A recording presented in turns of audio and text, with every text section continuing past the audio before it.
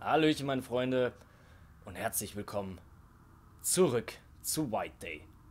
Ja, ich bin wieder aus dem Urlaub zurück. Heute ist Valentinstag und habe ich mir gedacht, was passt besser, als ein bisschen White Day aufzunehmen. Hat ja auch mit dem Valentinstag zu tun, nicht wahr? Wir sind, wir sind immer noch irgendwo hier im Neubau und äh, ich habe was Interessantes gelesen, gerade im Ladebildschirm. Da stand, erst ab der Schwierigkeitsstufe schwer können wir die Geister der Schule treffen. Was das bedeutet, weiß ich nicht, aber äh, ja. Ah ja, das sind einfach. Ah ja, genau, das waren die Toiletten. Ich muss mich erstmal wieder orientieren. Ähm, ich weiß nicht mehr genau, wo es überhaupt hingeht. Da können wir jetzt durch. Was war denn dort überhaupt? Sie aufgeschlossen. Oh. Okay, ich glaube. Warte mal. Oh, da hängt ein Zettel. Ich muss aber schnell gucken, wie weit wir jetzt überhaupt waren, was wir überhaupt zu tun hatten, was nicht. Ähm, SMS-technisch ist nichts. Dokumente. Äh, Kurzschluss. Ah ja, das war das mit dem Kurzschluss, ne? Ich habe mir übrigens auch wieder was äh, zum Lesen, äh, zum Lesen, zum Schreiben mitgebracht. Deswegen ähm, sollte alles tutti soweit sein. Ich gucke gerade mal, wir haben noch die Statue, genau.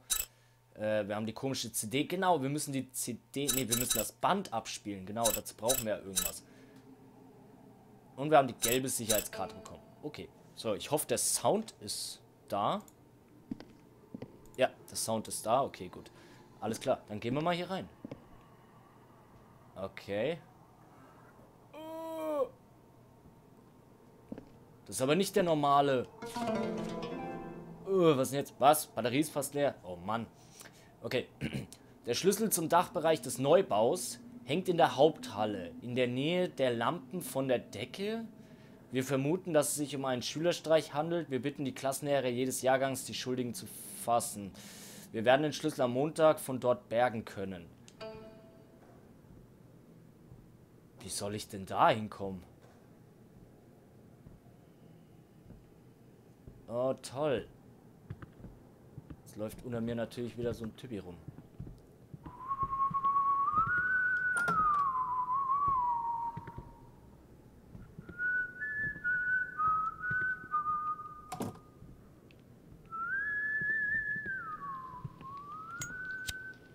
Noch ein gruseligeres Lied kann der nicht pfeifen, ne? Okay, wir haben wieder einen Papierkranich. Wir wissen ja, wir brauchen noch ein paar. Äh, wie gesagt, ich latsche jetzt erstmal so ein bisschen die Klassenzimmer ab.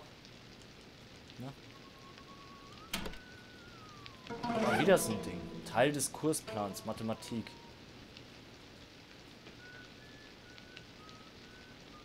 Okay, der pfeift echt eine scheiße gruselige Musik.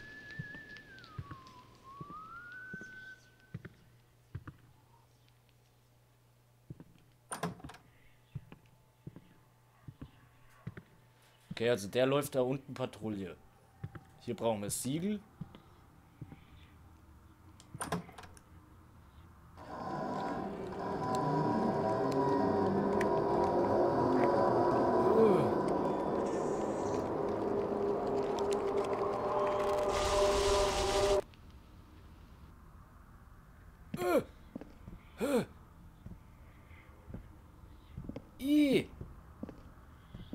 Was mach ich denn mit der? Was, was zum Geier? Die kommt ja direkt auf einen zu. Boah, ist...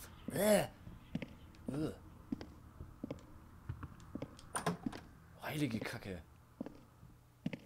Die ist so schnell. Was soll ich denn da machen?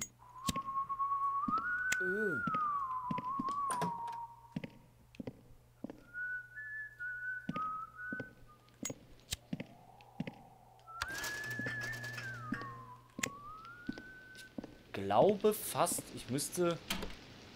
Ich müsste bei der das Licht anmachen, aber ich komme ja nicht ran. ist viel zu schnell.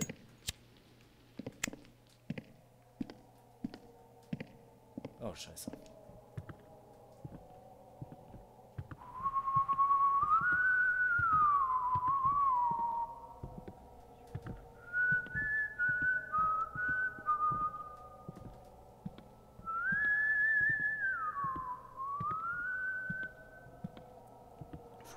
Düdelüdelü.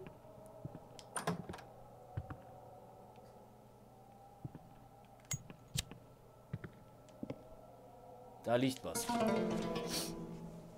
Wahrheitssuche Nummer 1. Äh, Winterausgabe. Todesbotschaften. Eine Todesbotschaft bezieht sich auf die letzte Nachricht eines Mordopfers und sie unterscheidet sich von einem Testament in Bedeutung und Inhalt. Die Absicht einer Todesbotschaft ist es, den Mörder zu enttarnen. Die Todesbotschaft kann also einen wichtigen Hinweis in einem Mordfall liefern. In der Realität sind Todesbotschaften jedoch selten. Wer stirbt, hinterlässt meistens keine Nachrichten mehr. Wer stark genug wäre, das zu tun, würde eher um sein Leben kämpfen, als äh, seine letzten Worte niederzuschreiben. Todesbotschaften in Kriminalromanen. Kriminalromane haben das Konzept der Todesbotschaft popularisiert. In diesen Romanen werden Todesbotschaften oft als literarisches Mittel eingesetzt, um die Leser von der wahren Lösung abzulenken. Wenn in einer Geschichte eine Todesbotschaft also direkt auf den Schuldigen weist, stellt sie sich oft als falsch heraus. Zudem werden die meisten Todesbotschaften in Teilen oder in Form eines Rätsels gefunden, das gelöst werden muss, um den Fall zu knacken. Todesbotschaften in der Realität. Wie zuvor erwähnt, sind Todesbotschaften in der Realität kaum wie in Romanen umsetzbar. Aus einer anderen Perspektive betrachtet könnte man jedoch sagen, dass das Tagebuch über die Notizen einer todkranken oder suizidalen Person in die Kategorie von Todesbotschaften fallen. Hm. Versteckte Nachrichten in Todesbotschaften. Nebst ihrer langen Geschichte hat die Yeundo High School eine fast ebenso lange Liste von Gerichten über Unfälle und seltsame Geschehnisse. Dazu zählen auch die Todesbotschaften von Lehrern wie Schülern, die Selbstmord begangen haben. Den Gerücht zufolge hat zu den Zeiten, als die Schule noch Schlafsäle besaß, eine Hausmutter Selbstmord begangen und eine Todesbotschaft hinterlassen. Angeblich enthält diese Nachricht einen Code, der den Schlüsselkasten im Büro der Schulverwaltung öffnen kann. Da, je, da jedoch niemand diese Botschaft je zu Gesicht bekommen hat, kann dies nicht bestätigt werden eine Hausmutter hat Selbstmord begangen und die hat einen Code hinterlassen mit dem Schlüsselkasten. Okay. Gut, das muss man uns aber merken, leider.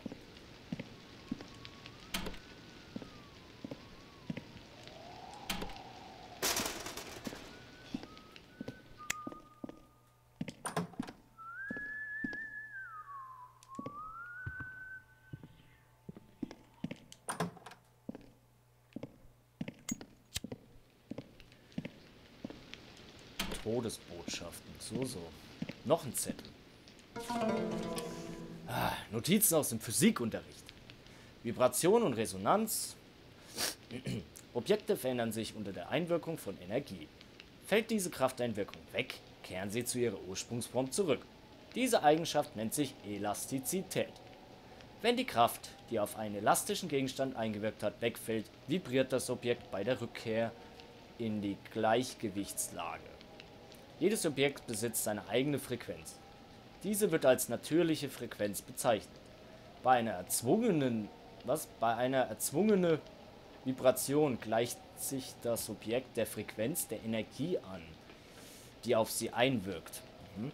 Sind erzwungene und natürliche Vibrationen identisch, wächst die Amplitude. Das wird als Resonanz bezeichnet. Ein Anstieg der Amplitude durch Resonanz bedeutet, dass die Energie effizient übertragen wird. Die Energie entspricht dabei dem Wert von Resonanz hoch 2. Ich bin nicht hier, um was zu lernen, aber okay. Es finden sich viele Beispiele von Energieamplifikation. Zum Beispiel stürzte 1940 die Tacoma Narrows Brücke im Staat Washington der USA nur vier Monate nach Fertigstellung aufgrund eines Windstoßes ein. Die Ursache für den Einsturz war, dass der Wind mit der natürlichen Frequenz der Brücke eine Resonanz erzeugte und so die Amplitude verstärkte. Ein weiteres Beispiel ist, wenn die Stimme einer Sängerin auf einer bestimmten Klanghöhe Glas zum Zersplittern bringt. Dies geschieht, weil die Frequenz ihrer Stimme mit der natürlichen Frequenz des Glases resoniert. Stell dir mal vor, du könntest mit deiner Stimme Glas oder Spiegel zum Bersten bringen. Hm. Das ist ein Hinweis auf einen Geist, der das kann.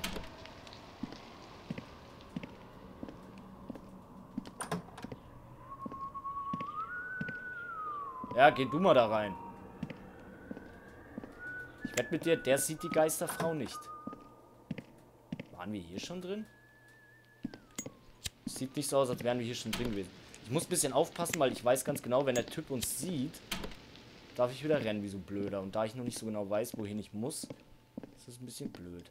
So, er kommt also von dort nach hier drüben. Wird bei jeder Tür abgelenkt. Das heißt, wir gehen jetzt mal eine Etage hoch.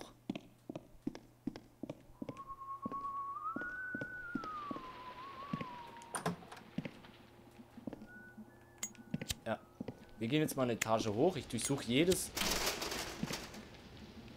Zumindest versuche ich, jedes Klassenzimmer gründlich zu durchsuchen. Damit ich schon mal eine Idee habe, wer äh, was wird. Okay, die wechselt das Klassenzimmer. Was? Uh, wie hat denn der mich jetzt gesehen? Uh, uh. Wieso jetzt schon wieder diese Kackmuskel? Mann! Ey, die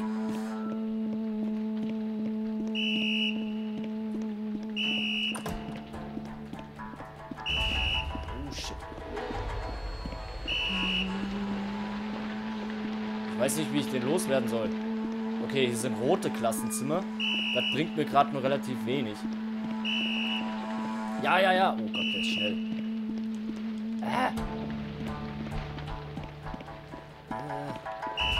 Scheiße, wie soll ich mich da umgucken?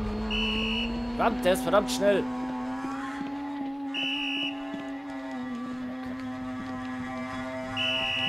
Shit. Ich sitze da voll. Ah. Aua. Auf mich zu schlagen. Warum müssen die immer gleich sofort losprügeln? Mir kommt so vor, als wäre der Typ hinter mir schneller als der andere Hausmeister. Okay, ich muss mir irgendwas überlegen, wie ich an den Schlüssel komme.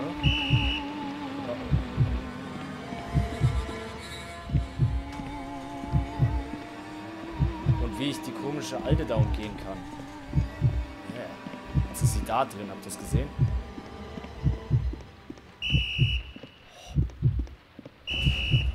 Ey Junge, gehst auf Keks.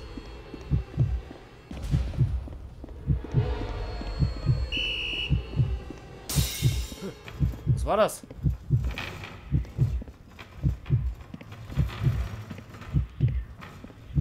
Oh shit. Oh, oh shit.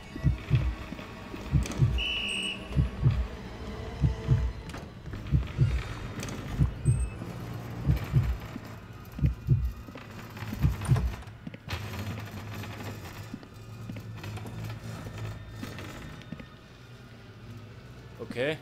Wo sind wir jetzt? Habe ich es geschafft, ihm auszuweichen? Ich habe keine Ahnung.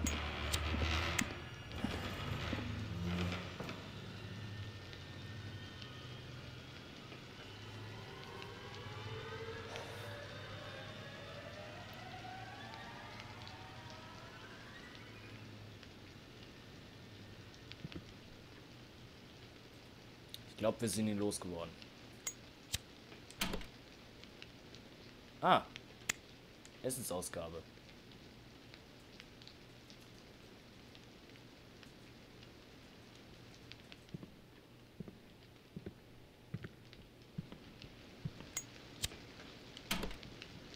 Da liegt eine Münze. Sehr schön. Da sind 13 Stück davon. Das ist gut. So. Puh.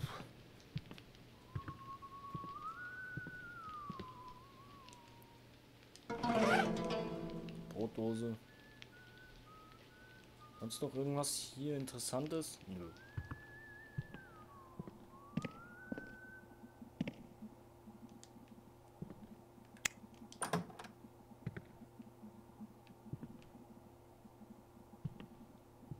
Ah.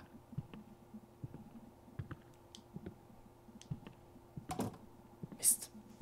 Ich muss gucken, dass der weg ist.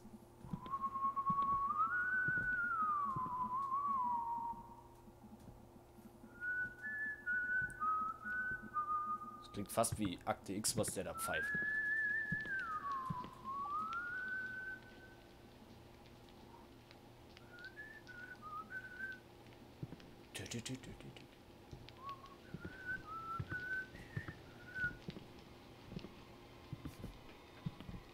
Oh nein. Scheiße.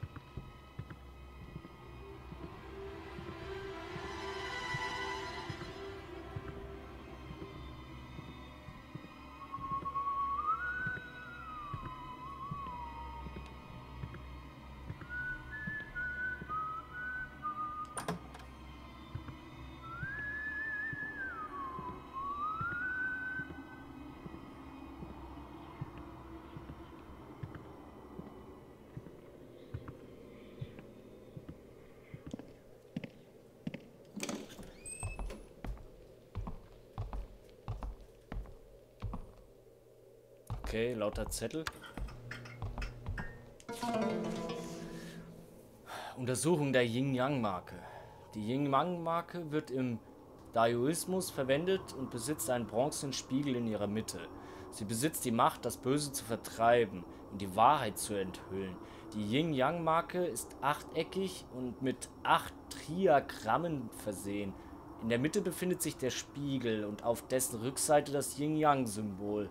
Das Symbol erscheint gelegentlich in der Popkultur. Wird die Marke mit Energie aufgeladen, kann es diese entfesseln, um das Böse zu vertreiben oder zu zerstören. Das vom Spiegel reflektierte Licht soll denselben Effekt besitzen.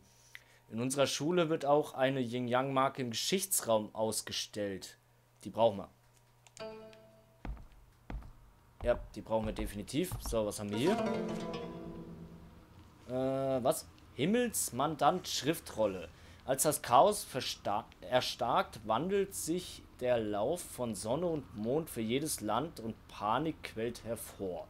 Aus diesem Trubel soll ein wahrer Mann hervortreten, um die Zeit einem einzigen Standard zu unterwerfen. Nur dann wird der dunkle Fluss überquert und das Heiligtum erreicht. Uh.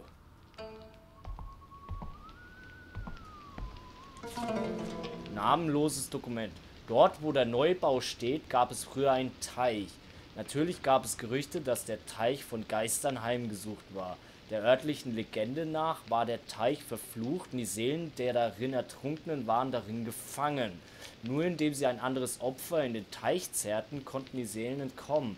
Darum waren die Geister im Teich blutdurstiger und töteten mehr Menschen. Aha. Wenn es am schlimmsten war, fiel dem Teich jeden Monat ein Leben zum Opfer.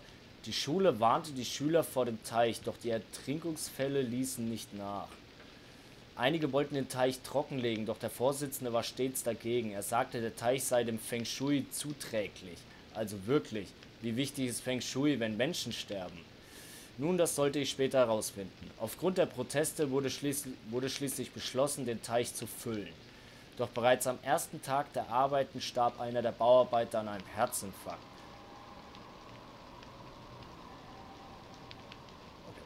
Danach hielt die Schule jedes Jahr ein Reinigungsritual für den Teich. Nach nach komische Geräusche. Nach einiger Zeit wurde schließlich der Neubau an die Stelle gesetzt, an dem sich der Teich befunden hatte, und die Rituale wurden ausgesetzt. In letzter Zeit nehmen die Gerüchte über die Geister jedoch wieder zu. Es heißt, ein durchnässtes Mädchen in einer alten Schuluniform würde gelegentlich im Geschichtsraum erscheinen. Uh, da hat man ja Glück. Sie muss eine derjenigen sein, die im Teich ertrunken sind. Ihr fragt euch vielleicht, warum ein Geist aus einem Teich erscheinen sollte, den es gar nicht mehr gibt. Es ist nicht leicht zu erklären, doch diese Welt und die Unterwelt existieren am gleichen Ort. Was, das, was bedeutet das? Es bedeutet, dass Menschen und Geister denselben Ort bewohnen, sich jedoch aus Mangel eines besseren Wortes in einer anderen Dimension befinden. Ah ja.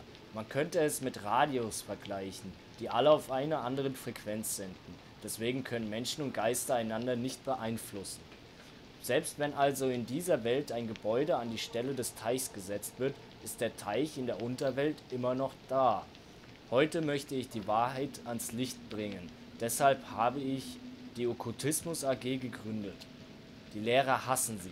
Sie sagen, ich verschwende meine Jugend. Doch auch, doch auch wenn manche Leute meine AG seltsam finden, ist sie kein Witz. Wir untersuchen übernatürliche Phänomene, für die die Wissenschaft keine Antwort hat. Unser oberstes Ziel ist es dabei natürlich, einen Geist aufzuspüren.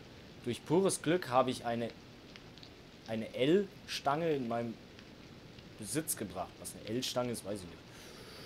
Diese soll magische Kräfte besitzen. Ihr Finger, äh, ihr Finder hat mir gesagt, sie könne Geister aufspüren und auch als Wünschelrute eingesetzt werden. Eine L-Stange. Eine L-Stange? Ich habe keine Ahnung. Oh shit. Ah! Schlag mich nicht, ich bin nur ein harmloser Schüler.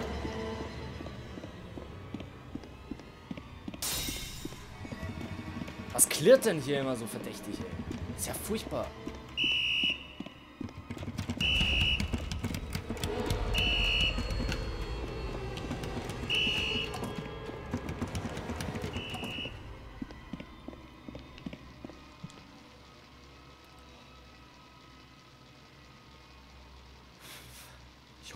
Losgeworden. Ich sehe sein Taschenlichtschein durch die Dings. Was hat denn da jetzt geklirrt? Und was zum Geier hat den Türen rumgewackelt? Okkultismus AG. Ich muss mal kurz auf die Karte gucken. Waren wir da gerade drin? Wir waren da gerade drin. Im Schulkiosk waren wir und in den Schalterraum da hinten müsste ich vielleicht nochmal. Tanzstudio, Musikzimmer. 3-1, 3-2, 3-3, 3-4, 3-5, 3-6. Okay, 3-7, 3-8, 9, Lesezimmer, Lehrmittelzentrum, Bibliothek, Bibliothek 2. Kunstwerkstatt, Sprachlabor. Hm. Geschichtsraum. Ich glaube, wir müssen noch mal in den Geschichtsraum gehen. Ich werde das Gefühl nicht los, dass ich diese Yin-Yang-Münze brauche. Ich werde das Gefühl nicht los, dass ich den Typ nicht los werde.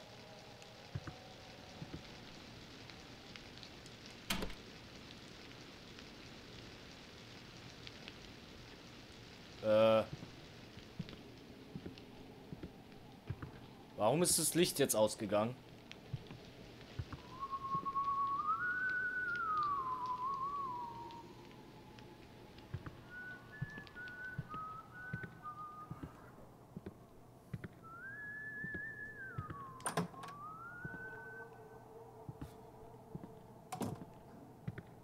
Mann, wie sehr ich diesen Typ doch nicht mag.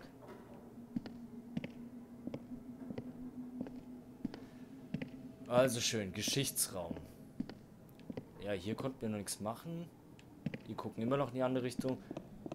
Okay, der Schlüssel. Warte mal, Geschichtsraum, war der oben oder unten? Der war... Der war unten.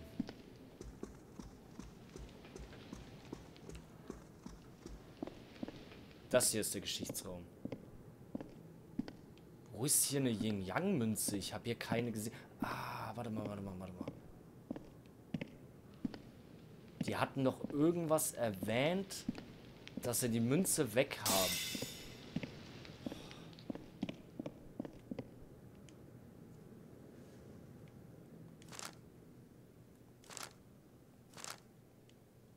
Okay, es fehlen noch drei. Ach nee, wir haben nur drei. Ja, insgesamt fehlen noch. Ihr wisst, was ich meine. So, das ist eine blaue Karte, das heißt, wir kommen, kommen da nicht rein. Okay, wir brauchen den Schlüssel zum Dach. Oh, Jesus. Okay. Schulmünze. Ich hole mir mal eine Sojamilch. Hier war doch irgendwo dieser Automat. Och, echt jetzt? Du mieser Penner.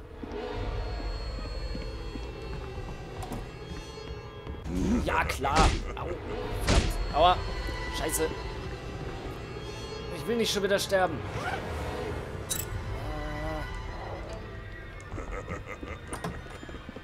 Boah, was für eine fiese Lache. Aua, fuck. Kannst du aufhören mit deiner Kacke?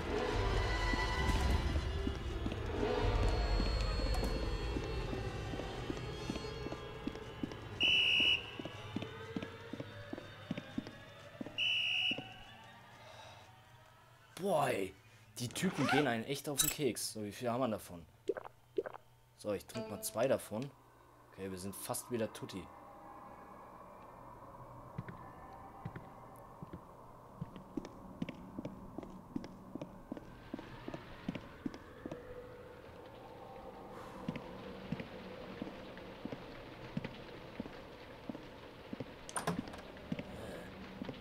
Mann, was soll ich denn machen, wenn, wenn die Eude da ist? Oh, da liegt was. Okay, er ist jetzt gerade mal weg. Das heißt, wir haben jetzt mal kurz Zeit. Das heißt, ich kann mir jetzt mal was holen. Hallo. Ich hätte... Achso. Ich hätte gern das da. Danke. So. Du Miese!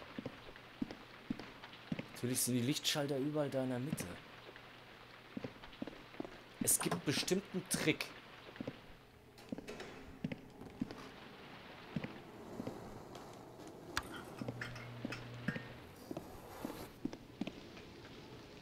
Ah.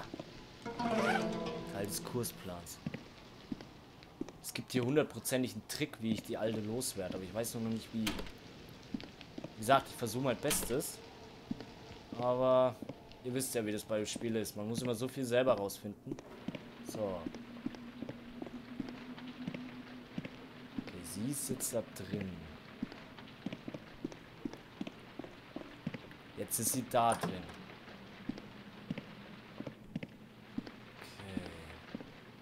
Okay. Der Schlüssel hängt oben nahe der Lampe, hat's gelesen. Irgendwo, irgendwo hier?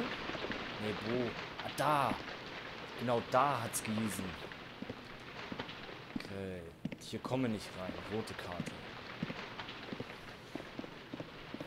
Ist jetzt mal ausnahmsweise mal ganz praktisch, dass der Kerl da jetzt gerade mal unten weg ist. So habe ich wirklich mal ein bisschen Zeit. Oh, hier können wir speichern. Wie viele von den Dingern haben wir denn noch? Vier. Ja. Ja, ich speichere nochmal hier.